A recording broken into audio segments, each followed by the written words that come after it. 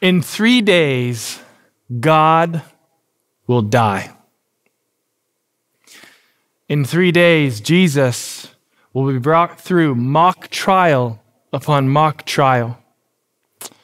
He will be beaten with rods. He will be whipped with what was called a cat of nine tails. It was intended to rip the flesh off of your body. He will be mock worshiped by those he came to save. The only one who's worthy of worship will be mocked in an act of false worship. And then a mob with mob mentality will shout and command, Crucify, let his blood be on us and our children. And ultimately, he will walk to Golgotha, the place of the skull, where he will be pierced for our transgressions and crushed for our iniquities, where Christ, God Himself, will die. In three days, God will die. Today, as we continue our series in the book of Mark, we're in the last week of Jesus' life. And many of the commentaries I read on the passage we're going to be reading today in Mark chapter 11 and chapter 12 put this story three days before the crucifixion. And my hope as we finish out the book of Mark through the rest of this year and the beginning of next year is that we would make much of Jesus, that we would fix our eyes upon him as we watch his resilient march towards Calvary. So, a little bit of background as we uh, before we jump into the passage. Last week, Pastor Drew taught about a passage that had much fanfare, the triumphal entry, where it's just this crazy scene where Jesus is coming into town on a donkey, and the crowds go wild, ripping branches off of trees and throwing them on the ground, shouting at him, "Hosanna! Save us now!" And there's much celebration. There's being much is being made of Jesus' entry into the town. And we know from the Gospel of Luke that Jesus is having a totally contrasting experience to what the crowds are experiencing. They're shouting praise and adulation on Jesus as he enters. And we know from the book of Luke that as Jesus drew near to Jerusalem, he wept over it. The word there in the original language that Drew read last week, it means to sob or wail aloud. This is an ugly cry. Think snot coming out, red puffy eyes, tears streaming down your face. He wailed aloud because he knew as he entered Jerusalem, their hearts were still far from him. And as he enters in, he goes to the temple, the place that he went often. He often taught in the court of the Gentiles, the court of women, Solomon's porch, the court of Israel. He taught in all these varied places because he wanted the message of the good news of his, of his salvation that he was bringing to be pro- proclaimed to everybody. And as he enters the temple, what does he see? But that this place of worship and prayer where the Gentiles could come into, the court of the Gentiles, has been turned into a thoroughfare and a marketplace where uh, money changers were selling animals at exorbitant prices so that, that people could sacrifice them in the temple. And zeal for his father's house consumes him. He comes back the next day and he drives people out of the temple, overturning the tables of the money changers. And this moment enrages the religious leaders. They're angry with him because they're the ones who allowed this to happen. And they're thinking, we're the religious leaders. Who do you think you are coming in here and upending how we're running the temple? But they're also angry with him for a bit more of a shady reason. You see, many commentators and scholars believe that what was happening in the court of Gentiles, where people were uh, selling the animals, that the religious leaders would have profited off of that by charging a fee in order for uh, the money changers to do that. And so Jesus has not only subverted their authority, he has messed with their pocketbook and they're enraged and they're looking for a way to destroy him. That's the context with which we enter into our passage today. Verse 27, Mark 11. And they came again to Jerusalem, and he was out, he was walking in the temple. The chief priests and the scribes and the elders came to him. So he comes back into Jerusalem. He's in the temple again, the place where he just overturned tables and ran everybody out. And the religious leaders, the chief priests, the scribes, and the elders come to him. Now, this is the group that made up what was called the Sanhedrin. The Sanhedrin is like the high court of Israel, the supreme court of Israel that oversaw matters of religion and law. And so they come to him and they've got some questions. Remember, these guys are pretty uh, peeved with Jesus at this moment. They come to him and they said to him, By what authority are you doing these things? Or who gave you this authority? They're saying, Look, we're the authority here. They were what was called the Sanhedrin, which was 70 people plus the, the high priest, 71 people. And I don't, I don't know if it's all of them that have come to Jesus in this moment or just a few representatives, but they come to Jesus and they say, Look, we didn't give you the authority to do what you did. Who do you think you are? By what authority do you do these things? And we know from, uh, from history that religious leaders and rabbis would, uh, when they wanted to speak or do things authoritatively, they would often reference somebody who had more authority than them. And so they're saying, by whose authority did you do this? And Jesus responds. Jesus said to them, verse 29, I will ask you one question. Answer me, and I will tell you by what authority I do these things. I, as I've been studying this passage, a, a phrase that uh, Jordan, the worship director in Sutherlin, said uh, a year ago almost in January when I taught with him has been ringing out in my mind. He said, Jesus isn't just the King of Kings, He's the genius of geniuses. And we're going to see Jesus take their question, flip it on its head, and throw the tension back right where it belongs. So Jesus says, I'm going to ask you one question. Answer me, and I'll tell you by what authority I do these things. And here's his question, verse 30 Was the baptism of John from heaven or from man? Now, if you don't know who John is, John the Baptist, he had a, a ministry that was uh, the baptism of repentance. This is Jesus' cousin on his mama's side, and he was the forerunner of Jesus who came to prepare the way for the Messiah. And so he was calling Israel, calling God's people to repent and come back to God, and he was baptizing people in the Jordan River. And so Jesus says, Was his ministry from heaven or was it a man made construct? Was it from God or was it illegitimate? Answer me, he says. Verse 31. And they discussed it with one another, saying, If we say from heaven, he will say, Why then did you not believe him? But shall we say from man, they were afraid of for they were afraid of the people, for they all held that John really was a prophet. Jesus just drops a dilemma right in their lap. Okay? And they're they're debating amongst each other. Okay, if we say John's ministry was legit and that he was from heaven, we're going to have to own up to rejecting a prophet of God. That's not going to go well for us. If we say that his ministry was God given, we have to own up publicly to the reality that we rejected him. Because this is this question was done in a public setting in the in the temple courts.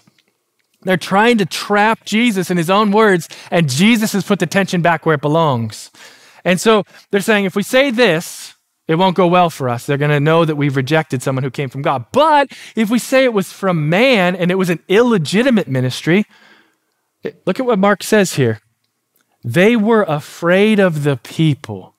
Now, notice that's not in quotations. That's not a direct quote from the Sanhedrin as they're discussing this. This is an annotation that Mark puts in there about their motive. They don't want to say that John's ministry was from man and an illegitimate thing, because if they do so, they know that the people that they lead and have control and power and authority over will be riled up because many of them believed that John really was a prophet. Probably many of them were baptized by him. And so they're stuck in this dilemma. As they try to trap Jesus, Jesus has caught them in their own trap. He's the genius of geniuses. Verse 33 So they answered Jesus, We do not know. we do not know. Like they're just feigning ignorance. I don't know. You know, we're, we're kind of undecided on this. And I wish I could be a fly on the wall of the temple in this moment. Like, here's Jesus and these religious leaders, and how are they having this conversation with Jesus right there? Are they like whispering or like they giving the eyeballs, like, you know, if we say this, then that's going to happen? Like, what did this actually look like? But ultimately, they say, we don't know. This is their job. The job of the Sanhedrin was to make sure that people who claimed to come from God were legit or illegitimate. They, they would have been people who investigated these sorts of claims. That's the very reason why they're asking Jesus about his authority in the first place. On the surface, this looks like a legitimate question, but there are undercurrents that are fueling it that they really want to destroy him by trapping him in his own words. And so they say, We do not know. And Jesus said to them, Neither will I tell you by what authority I do these things. Now, on the surface, it could look like Jesus is just avoiding the question. But in reality, their answer to the question of Jesus answers the question that they asked in the first place. Because if John's baptism was legitimately from heaven and John's ministry was from God, that means what John had to say about Jesus is also true. And what did John say about Jesus? He is the Lamb of God who takes away the sin of the world. He told his disciples, Go and follow him. I'm not even worthy to untie his shoes. Okay? And so he knew that Jesus was the Christ, the Messiah, and therefore has all authority to come into the temple and overturn cha- tables and, and chase the money changers out of there because he's God if they honestly answered the question Jesus gave them, their original question would have been answered as well. But they refuse. In their spiritual blindness and hard heartedness, they refuse to acknowledge the authority of Jesus. Let's look at it here again in the passage. They say, By what authority are you doing these things? The word there in the original language is exousia. Exousia. It does not mean just like leadership acumen or influence. Exousia can be literally translated power.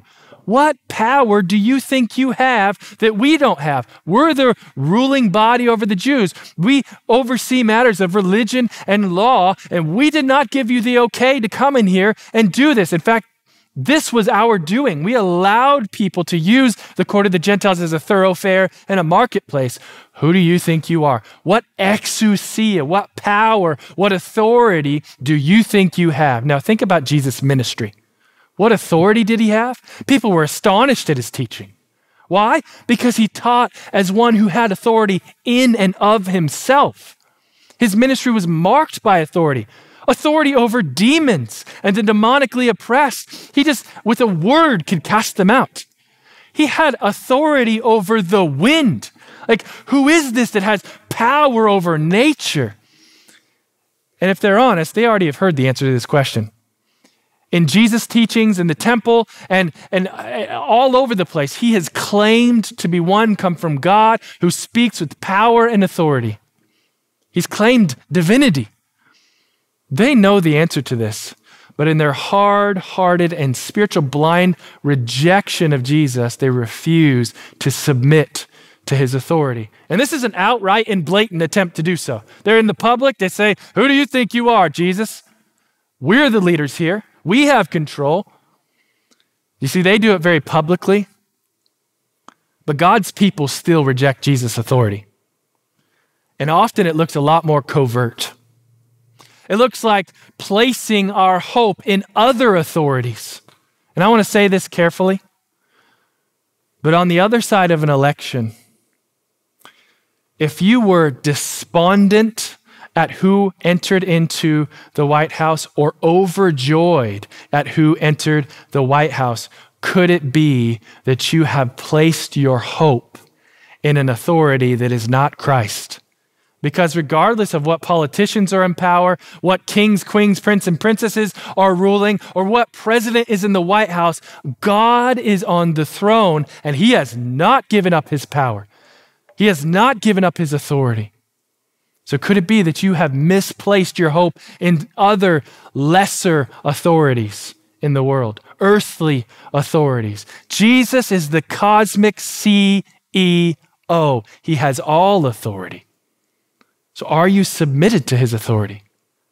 Another way that we often, in a more hidden way, are not submitted to Jesus' authority is selective obedience. I read the scriptures and I see sin in the scripture that I actually enjoy. And so I'm going to ignore that part of the scripture because it doesn't line up with my lifestyle.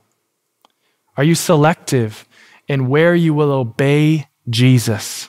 Jesus was very clear at the end of his uh, earthly ministry, towards the end of his earthly ministry, as he on the other side of the cross and the resurrection about his authority.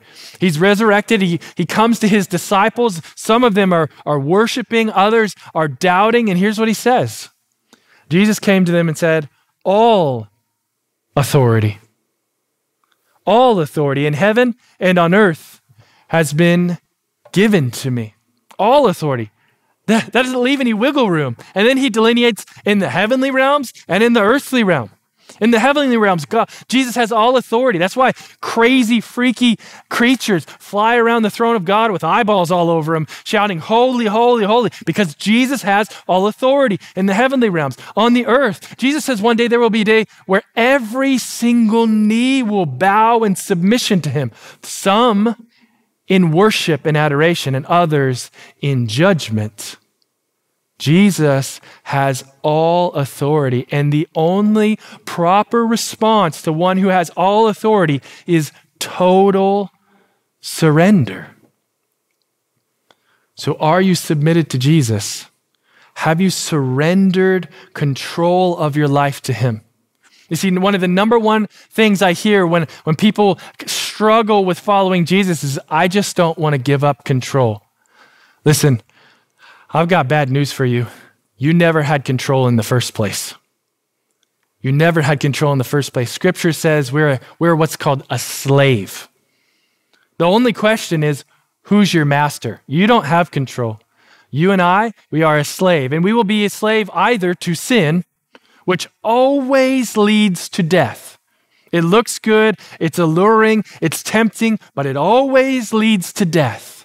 And we will be a slave to sin, and we will obey that master. And it looks like freedom. And Satan is totally fine with you thinking that you have control. But really, you're a slave to sin. Or you're a slave to Christ. And submission to Christ's rulership or lordship over you always leads to true life. Always. And so the question isn't, I want to maintain control. That's why I don't want to submit to Jesus. It's no, we've never had control in the first place. We are slaves to one of these two things. Who is your master? And I think often when we look at words like authority, I don't know about you, but I get jaded to that word. I have seen so many bad examples of authority displayed in the world from politicians to presidents to church leaders and pastors. We have examples of scandal. We have examples of people trying to get their own needs met in selfish and unhealthy ways by wielding their power. Jesus' power is not like that. Jesus' power is the power that sets sinners free from bondage. It's the authority that makes a way to God where there was no way. Jesus' power and authority is for you. But He is the authority. And one day, we will all stand before Him and He will judge the nations. And the question that is going to be on His lips is Did you surrender? What did you do with my lordship? Did you recognize me as Lord of your life? The scriptures know nothing about Jesus just being Savior and not being Lord. Jesus is your personal Savior, yes, but He's also your personal Lord. So have you submitted to Christ? In this moment, these religious leaders clearly have not. He's exercised his authority in the temple, and they are frustrated and infuriated because they have they believe he has usurped their authority, their control. And then Jesus entreats them with a parable. Continuing on in the passage, Mark 12, starting in verse 1. And he began to speak to them in parables. Now, uh, before, we move uh, before we move too far into this passage, I want to remind us what a parable is because this is often where interpretive issues come in. So, a parable is an earthly story that communicates a spiritual truth. It's a very common, practical, everyday story that communicates a heavenly reality. Okay? So, when he speaks to them in parables, and we've seen this earlier in the book of Mark, but when he speaks to them in parables, generally speaking, you're not supposed to dissect every single detail of a parable. You want to look at what is the overarch of the point of the parable. And that's a general rule. As you're interpreting the Bible, as you're doing your own Bible reading, when you come across the parable, you ask yourself, what is the spiritual truth that this earthly story is communicating? Don't get lost in the details. However, with this particular parable, there is more meaning in the details than most of Jesus' other parables, and we'll look at that. So, again, he began to speak to them in parables. A man planted a vineyard and put a fence around it and dug a pit for the winepress and built a tower and leased it to the tenants and went into another country.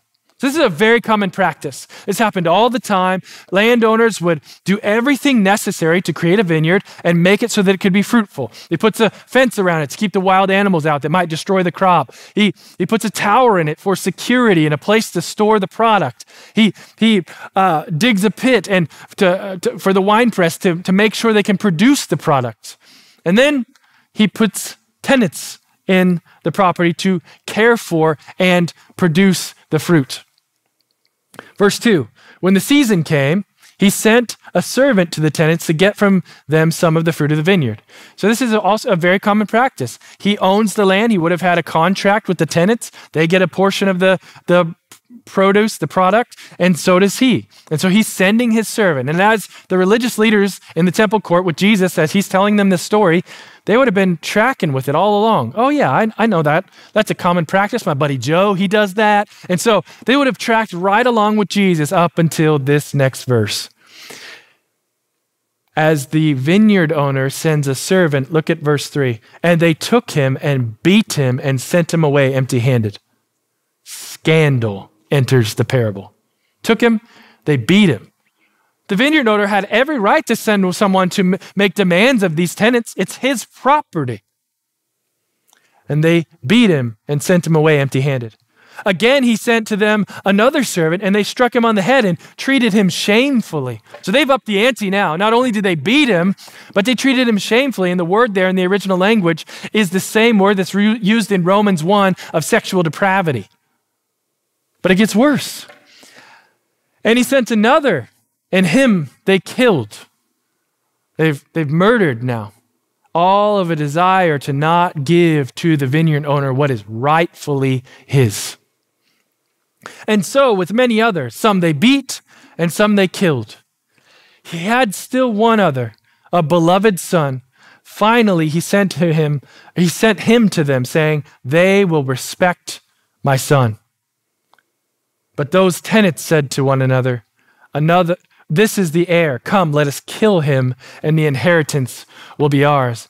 So the father, the, the, the, the vineyard owner, sends his son, and uh, he says, Look, they have treated my servant shamefully, but this is my heir. This is my son. He has every right, familial right, to come and make demands of these tenants. He must be treated with respect and they conspire to kill him so that they can receive the inheritance. Verse 8 And they took him and killed him and threw him out of the vineyard. They don't even give him a burial. They throw him out of the vineyard. What will the owner of the vineyard do? Jesus asks as he finishes the parable. He asks a rhetorical question to these religious leaders who just heard this scandalous story. Can you believe this is what happened? What will the owner of the vineyard do? He will come and destroy the tenants and give the vineyard to others. So let's unpack what we just went through. The vineyard owner is God the Father. And the vineyard that God has planted is his people, Israel. And just like the vineyard owner did everything for the flourishing of his crop, of his product, so God the Father has done everything for the flourishing and fruitful production of his people, Israel. He, he has protected them and provided for them. He placed tenants in and among them. That's the religious leaders who were supposed to point them to God and point them to God's way and call them to repentance. And yet, that didn't happen. And we know throughout Israel's history, God continually sent prophets. That's the servants in this story. And the prophets would come with a word of judgment or rebuke from God often. And what did Israel do in the religious leadership? They treated the prophets shamefully, beating them, persecuting them for the word of the Lord, sometimes killing them. And so finally, the vineyard owner, after sending many prophets. The Father, after sending many prophets to his people, sends his son. And the, the words that he uses is his beloved son, the same words that are used of Jesus at his baptism and at the transfiguration. He sends his beloved son. And what do they do? They conspire to kill him, which is what we saw these very people, the chief priests, the scribes, the elders, the religious leadership, last chapter. They were conspiring to kill Jesus. They, they said, I want to destroy him. And then they kill him. And at that point, the parable shifts from a story to more like prophetic teaching of Jesus about what is coming, that he will die. He's not unaware of what awaits him in the near future. That by these tenets, these religious leaders, he will die. And then he asks them a, a rhetorical question here at the end, verse 10 Have you not read this scripture? Now, of course, they read this scripture. They would have probably had this scripture memorized. His question is not just, have you not read the words of it, but do you not understand the meaning of it? And here's the scripture. This is a reference to Psalm 118, verses 22 and 23. The stone that the builders rejected has become the cornerstone. This was the Lord's doing, and it is marvelous in our eyes. Jesus points them to their own scripture to say, This is about me. I am the cornerstone. I am the stone by which every other stone in the foundation and the building is set and measured. I create a firm foundation on which God is building, and yet you have rejected me and I have become the cornerstone. Verse 12 In response to all this teaching, the parable, and all of it, verse 12, and they were seeking to arrest him, but feared the people, for they perceived that he had told the parable against them. So they left him and went away. So they came face to face with the truth about themselves, and they reject him. This is the ultimate rejection of Jesus. Jesus teaches them truth in a parable format about their own hearts, their own hard hearted refusal to submit to his authority and rejection of him in spiritual blindness. They reject Jesus and ultimately decide, come, let us kill him. They, they conspire to murder God. And then they ultimately carry it out by killing him and this will happen in three days' time on the cross. And here in this moment, they have rejected Jesus, the only one who can soften their hearts. Think about this with me. These are religious leaders who would have had vast portions of the Old Testament memorized.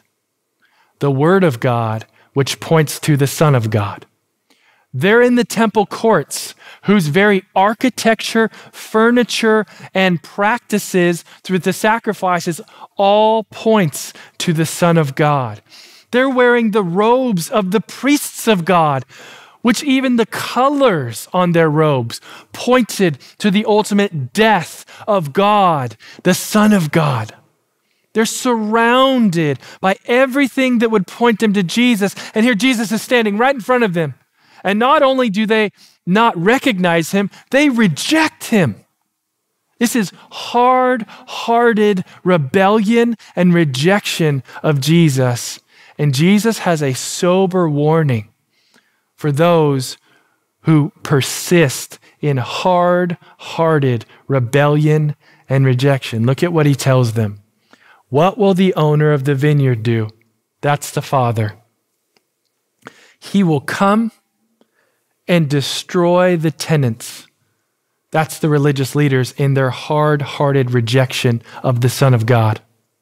And give the vineyard to others. Now, many scholars make much of this, um, that this is a reference to the reality that the Gentiles will be brought in and God's people will no longer just be Israel, but God's people, the church. They also reference that this is a reference to the destruction of the temple and God's people being more than just Israel. And so here he says there, there is judgment that comes in rejecting the only one who can save you from the wrath of God. So I want to come back to our question Are you submitted to Jesus or have you rejected him? There's only two types of people in the world there are those who have received Jesus, who have repented of their sin. That's simply a turning from it and to God in belief, belief in Christ. And they have been, they've been, they've entered into the family of God. They've become children of God, accepted and loved and forgiven, not because of anything they did, but because of what Jesus did. But there's another type of people in the world those who refuse to submit to the authority of God and reject Jesus. And those people, Jesus says, there is judgment coming. One day we will stand before God and he will ask you, What did you do with my son? Did you submit to his lordship or not? There is no middle ground and there is no neutral territory in Jesus. The only logical response to one who has all authority is total surrender. And so maybe you're here today and you have never surrendered your life to Jesus. Here's what this looks like it's a recognition that you're a sinner, just like me, and that you need a Savior. And it is a decision to turn from your sin and trust in something far greater than your sin. Jesus, who brings life. Where your sin brings death, Jesus brings life. Surrender to Him and begin that process of living in submission to Him. It will look differently 10 years from now than it does today, but begin today. And maybe you're here and you're a follower of Jesus. I just, I would ask you, are you are there areas of your life you're not submitted to Christ's authority, that you're not submitted to Christ's leadership of your life? And if so, have gracious curiosity about why. Why am I not surrendered? Why am I not submitted? And Lord, help me to have the faith to surrender and submit in those places. And for those of us who are trying, we're, we're on the mission to make disciples, every time we share the gospel, we put this tension on people. Will you submit to the authority of Jesus? That's ultimately what a disciple is one who has submitted to the authority of Jesus and therefore values him and is transformed by him over time. So, as you're making disciples, don't let anything get in the way of that call, the gospel call to repentance and faith. Repentance and faith, a turning from sin and trusting in Jesus. The gospel call to lay down my life, give up control, and surrender to God. Thank you guys so much for joining me today. I'm going to release to the campuses. Thank you guys so much for sticking around. Uh, it, I, I, I want to just kind of nail down on one question. And it's a question I asked several times throughout the message Are you submitted to Jesus? What truly is the authority in your life? Where has your hope been placed? Have you placed it in earthly authorities? That's an indicator that maybe you, you're not trusting in Jesus. You've not, there's an area of your life that has not been submitted to Him. Or maybe you're selectively obeying his word and you're viewing yourself as the authority. I like this, I don't like that. What is the authority in your life? Where does your hope lie?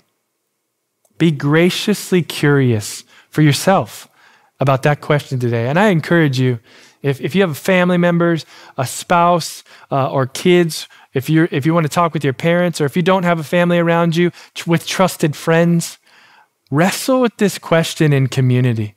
Ask others that you trust and you know love you. What is the what do you what do you see the authority in my life to be? Let's pray. Father God, thank you for the truth of your word, that you love us as we are, and yet you love us too much to leave us in that space. God, I pray for those of us who are wrestling with the idea of submission. Maybe it's submission for the first time. God, I pray you would draw those people to yourself, that they would truly seek you and ultimately surrender to the authority, the lordship of Jesus. And God, if your people who truly have relationship with you have realized by the power of the Holy Spirit today that there are some areas of their life that they are not submitted, Lord, I pray that you would help them to see that with clarity and help them to surrender those spaces. Give them the faith and the grace to live submitted to Jesus. And pray these things in Jesus' name. Amen. Thank you guys so much for joining us today. I love you. Enjoy your Sunday.